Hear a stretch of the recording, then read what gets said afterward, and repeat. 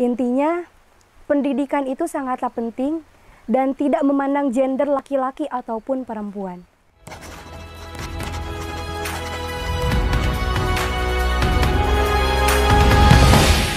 Pendidikan bukanlah proses mengisi wadah yang kosong, melainkan proses menyalakan api pikiran. Begitupun pendidikan karakter yang harus dipupuk dan ditanam pada generasi muda sejak dini. Memberikan ruang untuk mengeksplor adalah suatu visi dan misi agar minat dan bakat bisa berekspresi dan tentunya berbasis teknologi tanpa melunturkan budaya negeri tersebut sesuai dengan kebijakan Menteri Pendidikan dan Kebudayaan Republik Indonesia yakni Bapak Nadiem Anwar Makarim yang memulai gerakan yang bernama Merdeka Belajar. Saya Irma Agustina, Putri Pendidikan Remaja 2020. Let's join this program. We make the great Indonesia nation. Everything that gets in the way of the goals must be removed.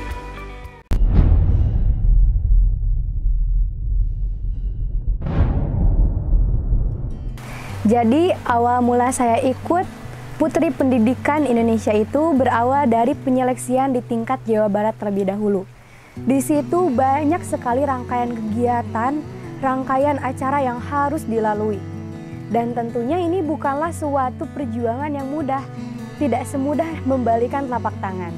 Nah, di situ mulai saya persiapan dari awal mulai dari yang dipersiapkan itu ilmu pengetahuan mengenai dunia pendidikan secara general, kemudian ada juga public speaking saya yang harus terus dilatih, serta bakat yang saya miliki. Dan tentunya saya sangat yakin tiap orang itu pasti memiliki bakat dalam dirinya masing-masing apabila dia mau menggali potensi yang ada dalam dirinya masing-masing, seperti itu.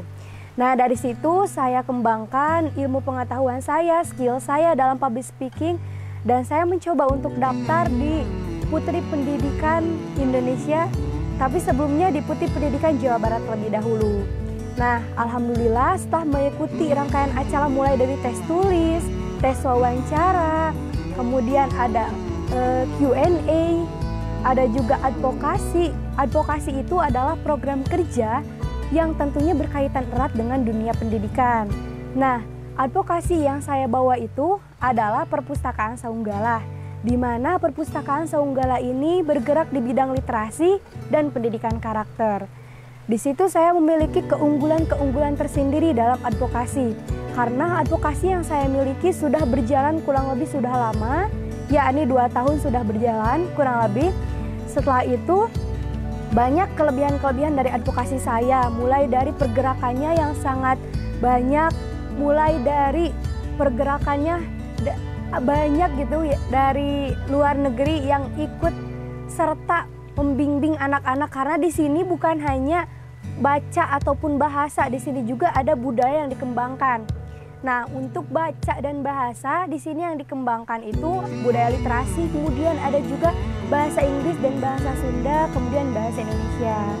Nah, mungkin itu sejarah mengenai uh, perjuangan saya dan alhamdulillah pada waktu itu saya bisa lolos di seleksi Jawa Barat dan lanjut ke tahap nasional dan itu sungguh sangat luar biasa bersaing dengan orang-orang pintar, orang-orang cerdas se-Indonesia bahkan saingan-saingannya pun bukan hanya di tingkat SMA ataupun kuliah S1 saja bahkan ada yang S3 gitu kan yang ikut berkontribusi, ikut lomba, ikut bersaing gitu. Jadi sempat waktu itu saya merasa down gitu kan, melihat uh, saingan-saingan saya yang cukup sangat luar biasa dengan uh, otak-otaknya sangat brilian. Akan tetapi di sana saya tidak uh, berputus harapan, saya tidak stok sampai di sana, tetapi saya ingin membuktikan bahwa saya itu bisa, saya bisa bersaing dengan teman-teman yang lainnya, saya dapat buktikan kemampuan yang ada dalam diri saya. Dan tibalah akhirnya uh, pengumuman akan tetapi sebelum pengumuman ada juga beberapa tes yang harus dilalui di tingkat nasional. Mulai dari tes wawancara lagi, tes tulis lagi yang tentunya dengan bobot yang sangat tinggi gitu kan. Kemudian ada advokasi juga, ada top model competition juga di situ juga bukan hanya ilmu pengetahuan atau skill public speaking yang diuji, akan tetapi dalam dunia catwalk ataupun modeling juga harus dikaji. Kemudian bakat saya dikembangkan. Bakat saya kebetulan yang ditunjukkan waktu itu adalah nari. Selain itu juga ada festival baju dan saya mengenakan baju yang bernuansa batik. Itu baju yang sangat dapat dikatakan berat akan tetapi uh, saya sangat semangat gitu kan bisa membuktikan kepada teman-teman yang lainnya bahwa saya itu bisa dan tiba akhirnya ke pengumuman di mana pengumuman itu sangat membuat tegang seluruhnya termasuk saya sendiri dan alhamdulillah tangisan bahagia saya itu muncul gitu kan karena saya dipanggil saya dipanggil menjadi Putri Pendidikan Remaja Indonesia 2020. Ini adalah suatu uh, kebahagiaan ataupun suatu tanggung jawab besar juga bagi saya. Karena ini bukan hanya sekedar gelar akan tetapi ada tanggung jawab kelanjutannya. Di mana program kerja yang saya miliki yakni perpustakaan Saunggala harus dikembangkan lagi. Dan ide-ide advokasi dari teman-teman saya putra putri pendidikan di Indonesia dikolaborasikan menjadi satu dan bisa dikembangkan lagi di tingkat Indonesia gitu kan. Mungkin seperti itu. Alhamdulillah ini sungguh luar biasa perjuangan saya dan tidak semudah dengan e, membalikan telapak tangan. Mungkin seperti itu.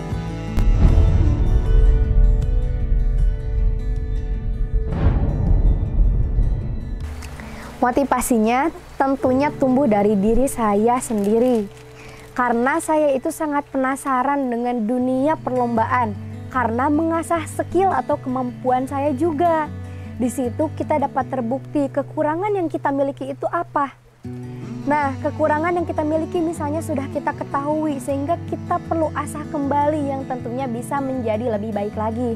Dan tentunya saya sebelum mengikuti ajang Putra Putih Pendidikan Indonesia banyak perlombaan-perlombaan sebelumnya yang saya ikuti dan itu sebelumnya saya gagal dan gagal gitu kan. Akan tetapi di situ saya terus memperbaiki skill saya, terus menemukan atau mencari skill saya itu ada di mana dan dan pada akhirnya saya sempat mengikuti ajang ini yakni Putih Pendidikan dan bisa menjadi winner gitu kan, winner Putih Pendidikan Remaja Indonesia 2020.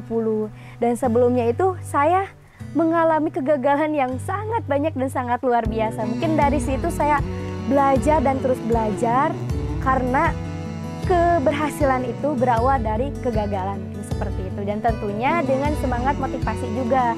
Jangan pantang menyerah akan menggapai sesuatu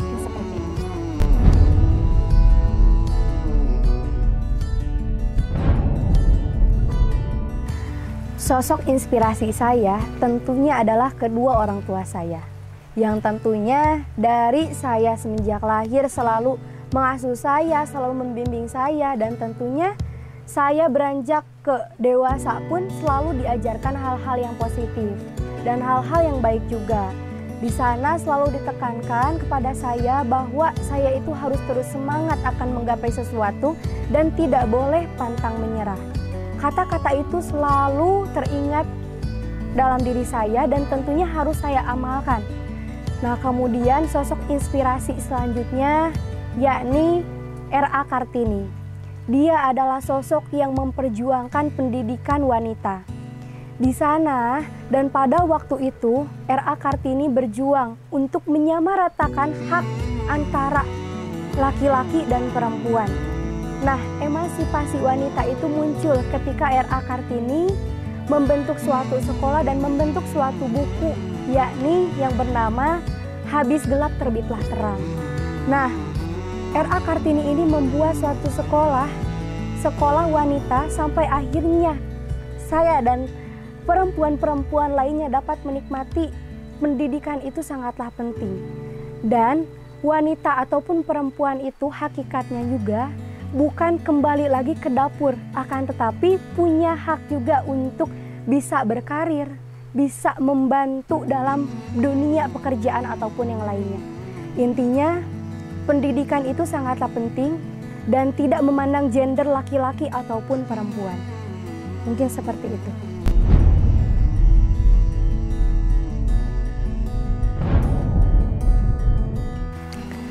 Harapan saya untuk pendidikan di era sekarang ini tentunya berharap pendidikan menjadi lebih baik lagi, tentunya dalam segi kualitas. Nah, berkaitan dengan hal itu, saya sebagai Duta Pendidikan Nasional bersama teman-teman saya sudah membentuk suatu program yang bernama Konferensi Pendidikan. Di sana adalah sebuah wadah untuk mencapai aspirasi-aspirasi atau ide-ide kreatif dari anak-anak muda di Indonesia dan inilah wadahnya konferensi pendidikan. Dan berharap dengan adanya konferensi pendidikan ini, pendidikan di Indonesia menjadi lebih baik lagi dan tentunya bisa jauh lebih berkontribusi dengan menteri-menteri pendidikan dan menyalurkan ide-ide kreatif dari kami. Kemudian secara khususnya yakni advokasi saya sendiri yang bergerak di dunia literasi dan pendidikan karakter yakni perpustakaan Saunggalah tentunya bisa menjadi wadah bagi generasi muda penerus bangsa untuk bisa saling bertukar pikiran dengan ide-ide briliannya di perpustakaan ini. Mungkin seperti itu.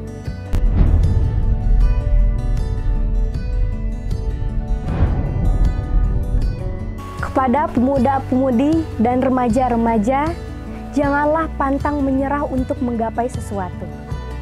Kita harus terus bersemangat dan tidak ada jalan lift untuk menggapai sesuatu. Akan tetapi kita harus menaiki tangga terlebih dahulu.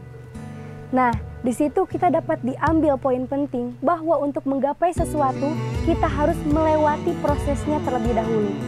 Tantangannya terlebih dahulu. Dan di situ kita dapat merasakan di mana adanya kegagalan ataupun sebuah keberhasilan. Dan dari kegagalan tersebut kita tidak boleh pantang menyerah, kita harus terus bersemangat memperbaiki kekurangan-kekurangan yang ada dalam diri kita yang tentunya menjadi lebih baik lagi. Terima kasih.